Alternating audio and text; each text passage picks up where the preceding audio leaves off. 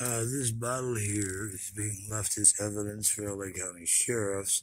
Not that you'll do anything with it, you'll fuck it up like you do everything.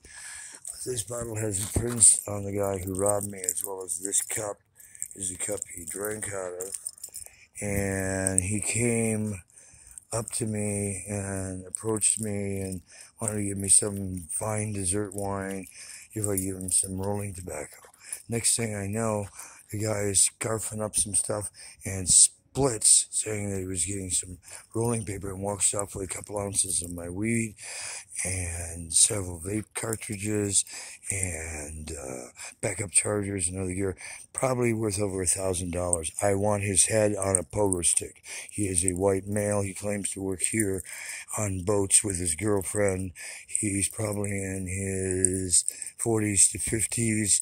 Um, lighter color hair. I don't remember if it was grayish or light salt and pepper.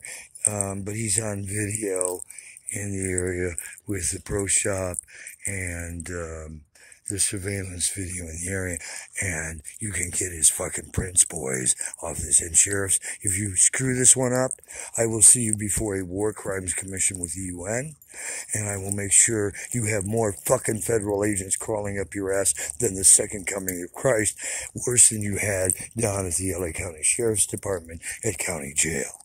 I'll make them crawl every precinct until you start to solve all these hit and runs and other attempts on my life that you pieces of shit have not done anything to protect and serve.